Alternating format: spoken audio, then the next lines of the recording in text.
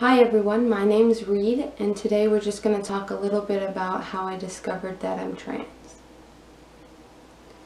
It all started kind of when I was younger. In hindsight, looking back at it, it's more obvious when I was a kid just running around doing my thing or whatever. I don't, I didn't really notice, I guess you could say. Um, I always felt kind of wrong in some sort of way but I didn't really know what it was or why it was there. Um, I always thought, like looking back on it, I always thought that I was a tomboy, but when I asked my stepdad what he thought about it, um, he basically said that I, he, I dressed like I was a pretty feminine kid, which I don't really remember all that much of. Like I know that I used to like wearing like skirts and dresses and stuff like that, but that never really seemed like a feminine thing to me. I just, I always saw myself as a tomboy, the one to like go outside, play in the mud, build a fort, that type of stuff. Um, but growing up, I always felt something was wrong, and every time I tried to like, around like my teen years, when I tried to start finding like a style, for myself, I would go on the internet and I'd just like Google ideas or whatever that I would have. And I would always find the guy's version of the clothing style and I would really like it and then I'd go to uh, try it out myself and I'd try to like feminize it, turn it into the girl's version because I didn't think I could look like like the guys in the photos that I was seeing. And I don't really ever remember learning the word trans. It was kind of just in my vocabulary at some point. Um, sometime around, I don't know, maybe early high school years, I remember this one time when I was like walking past a mirror in my room and I looked at it and I was like, it just popped into my head all of a sudden. I was like, maybe I'm trans. But immediately, immediately I was like, no, that can't be right because, you know, people um, talk so much about how it's a horrible thing that I just, I didn't want to be that, I guess you could say. But I kept having that feeling that like something was wrong. So one day I decided that I was just going to, I was going to sit down and I was going to Google it basically. And it's kind of funny because like looking back, I, I remember thinking that something's wrong and I know it has to do with the LGBTQ community, but I don't know what it is. So I was like, all right, I'll just Google LGBTQ terms. And I went through this giant long list of terms and I read every single one and I read it over again.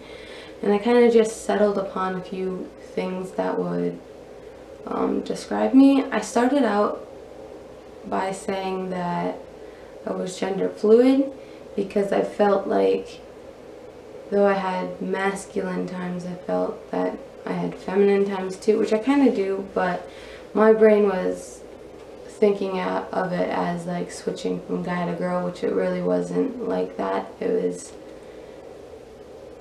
more of like just being a more feminine guy sometimes. So I I identified as gender fluid for the better part of a uh, my entire senior year.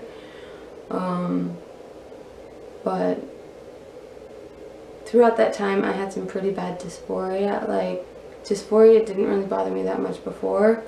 I like started considering myself as genderqueer in some way. I kind of just was uncomfortable, I guess you could say. But once I figured out that that's what it was, it kind of just hit me like a ton of bricks, basically. Um, I had some breakdowns in art class a few times, got sent to the counselor's office a few times because of it, and my counselor was actually pretty cool because my counselor specialized in like queer type stuff, so it was kind of cool to have someone like that around, although they didn't really tell me anything that I didn't already know, so it wasn't too helpful at the time. Um, but around the end of my senior year, I started thinking about like transition and whether top surgery and hormone replacement therapy would be good for me. I kind of just, that's when I started doing my research. But then after I graduated, it, everything kind of fell on the back burner because I was trying to get on my feet, you know. And I started identifying as non-binary just because it was like a fluctuation type of thing. Like I wasn't really sure how to identify. I knew I didn't identify as a girl, but I didn't know what I identified as. So I used non-binary as a bit of a blanket term.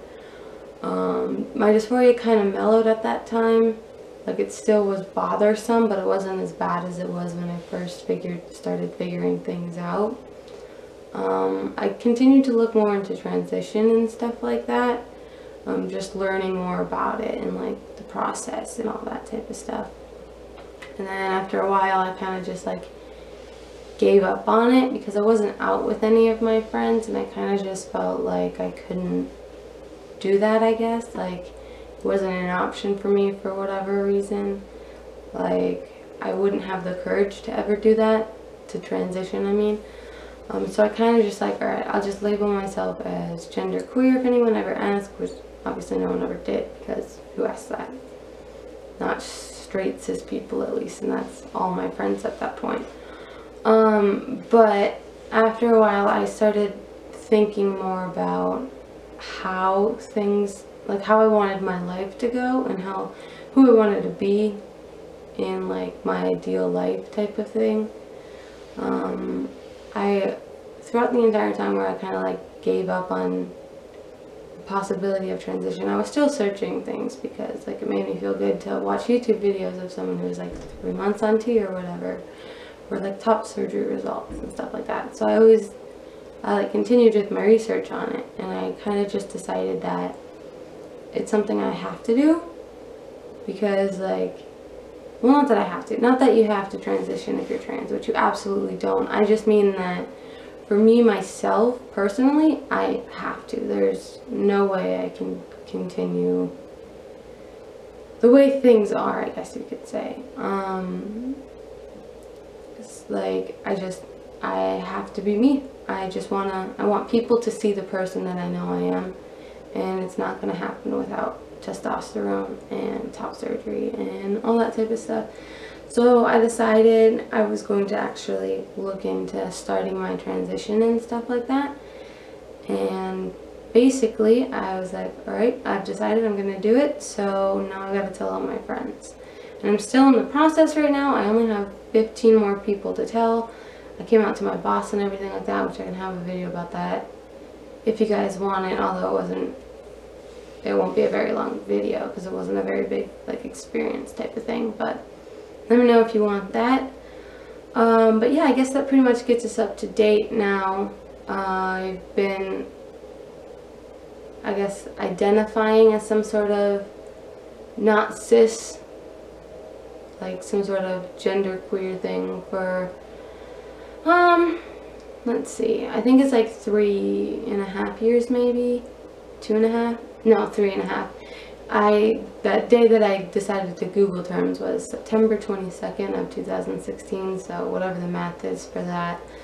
Um, but yeah I'm actually pretty happy with the way things are going now.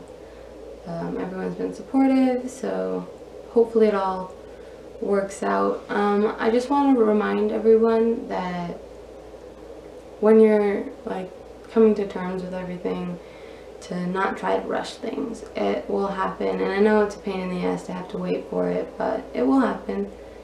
Um, so I'm gonna end the video here. Have a nice day, week, month, however long until I see you again. Alright, bye.